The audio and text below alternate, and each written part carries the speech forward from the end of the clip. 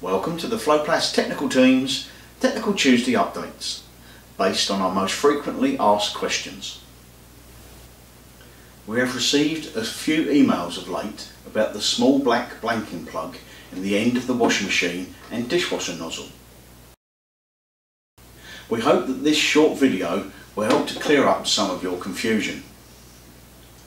FloPlast produce six waste traps and three connectors that have the blanking plug as part of the product. And although it is printed on the packaging, the plug must be removed before attaching the outlet hose from a washing machine or dishwasher. If not, damage could result to the appliance. There are two versions of the nozzle, version 1 and version 2. If you have the second version, there is a second feature inside the nozzle at the point where it joins the main body of the trap. This is a simple one-way non-return rubber flap to help remove the possibility of siphonage back into the appliance.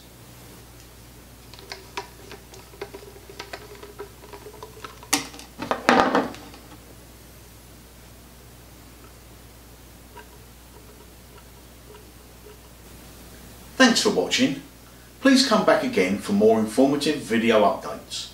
Alternatively, visit our website at www.floplast.co.uk, contact our technical team at technical at floplast.co.uk or telephone them on 01795 431 731.